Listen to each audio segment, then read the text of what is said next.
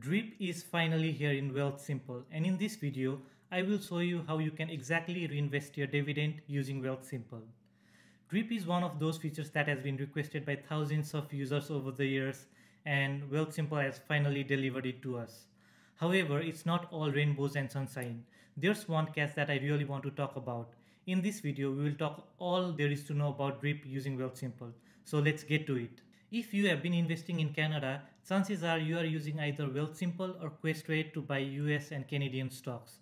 Even when I already had Wealthsimple account, I created a Questrade account because I really wanted to make use of the drip feature. Fast forward today, you can do all of that in Wealthsimple. It is fairly easy to set up drip in Wealthsimple. Just follow the steps in this video and you will be ready to reinvest your dividend in no time.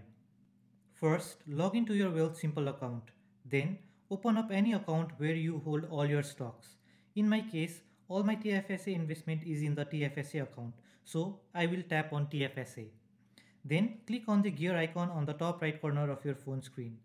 Now under automation section, you will see an option of dividend reinvestment. Click on that. Within this new page, you can use the toggle button to turn on or turn off the dividend reinvestment feature and you are done. I'm not sure if I'm going to leave the drip feature turned on on my Wealthsimple account.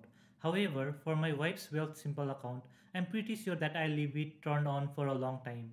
My wife is not really into investing and whenever companies give out dividends, she does not bother to manually reinvest the dividends. So for someone like her, this is a great feature to have. I did mention in the beginning of the video that it's not all rainbows and sunshine and there's a catch, remember? Well, let's talk about that now. With Wealthsimple Drip, you cannot cherry pick stocks for which you want to turn on this feature for. For example, if you want to dividend reinvest on TELUS stock but don't want to do it for TD Bank, you can't do that.